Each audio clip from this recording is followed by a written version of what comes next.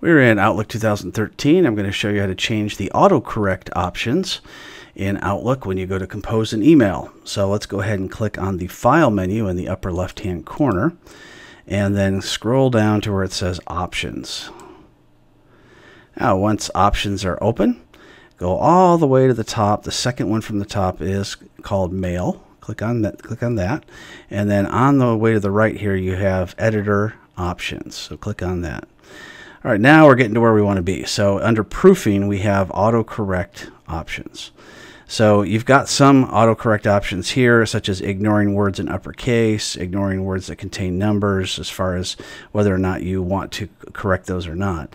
Let's click on the autocorrect options button itself. So autocorrect, you have the show autocorrect option buttons. We want that turned on.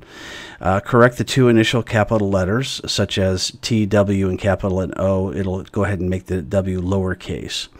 Capitalize the first letter of sentences. By default, that's checked, so it will automatically capitalize uh, the first letter of a sentence. That may be irritating to you if you're writing certain types of documents, so you may want to turn that off uh, capitalize first letter, letter of table cells. So if you insert a, a table, then uh, you can capitalize that as well.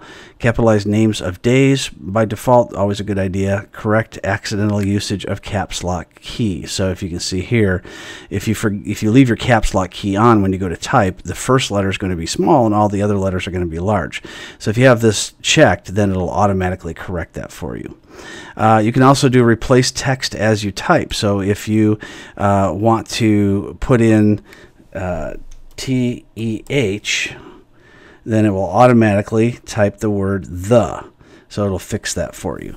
And if you want, you can have it say something else. So uh, we'll say uh, if I type in circus incorrectly, I can say make it look like that. And I'll go ahead and click add. And now that's added to our list of autocorrect options. So you can see it comes with a lot of preset autocorrect words. Uh, but so if you misspell the same word over and over this may be a good way to keep that from accidentally happening you also have automatically used suggestions uh, from the spelling checker, and by default that's checked. That's this is the spelling checker here, and uh, this is part of it anyway. And you can go ahead and leave that checked. If you uncheck it, then of course you'll lose that capability. So those are the different autocorrect options for uh, typing words in Outlook 2013. We'll also look later on at some of the math and other uh, format options.